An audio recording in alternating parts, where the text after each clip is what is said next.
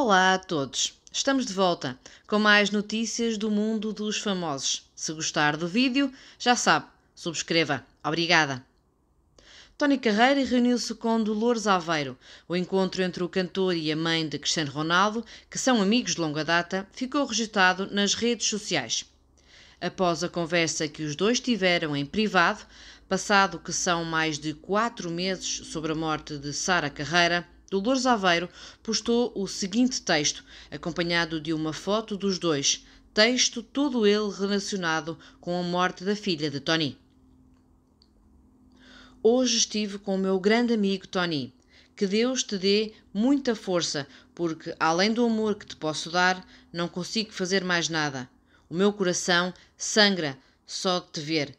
Mas tem força, amigo. Tens uns filhos maravilhosos e lindos, e essa será sempre a tua fortaleza, estejam eles onde estiverem.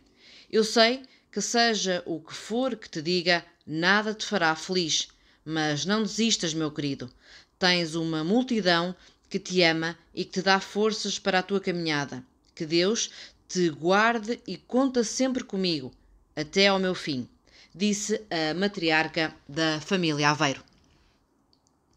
Não é a primeira vez que Dolores Aveiro aparece nas redes sociais ao lado de Tony Carreira. Recorde-se que em 2018 já os dois tinham feito um pequeno vídeo em que cantavam em conjunto uma conhecida canção de Tony, que ficou registada num vídeo que circula no YouTube. Dolores Aveiro nasceu na Ilha da Madeira no dia 31 de dezembro de 1954. Tem 66 anos. Dado que o pai de Ronaldo morreu em 2005, a dona Dolores tornou-se por natureza a matriarca da família.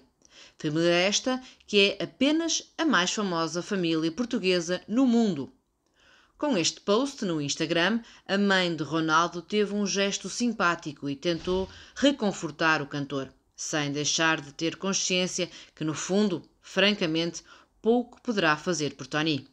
No entanto, ficou o gesto de quem tem quatro filhos e, como todos aqueles que são mães e pais, imaginam a dor e o sofrimento pelo qual Tony e Fernanda estão a passar. Se gostou deste vídeo, agradecemos que subscreva o canal. Muito obrigada!